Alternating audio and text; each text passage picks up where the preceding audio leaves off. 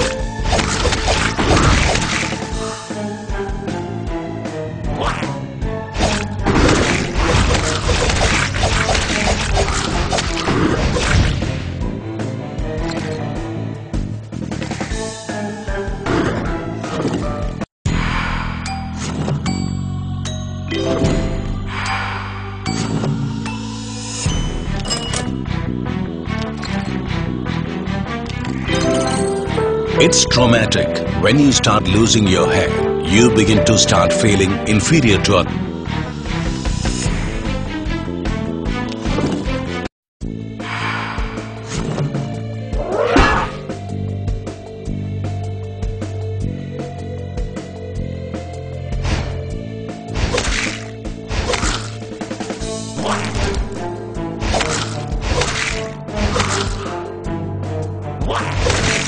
Bye.